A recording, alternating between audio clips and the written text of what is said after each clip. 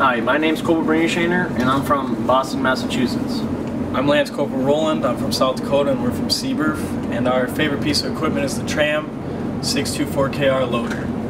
This piece of equipment is used in moving, loading, and unloading pieces of equipment. This piece of equipment is one of the most important pieces of equipment in Marine Corps logistics. Without this piece of equipment, battalions cannot operate.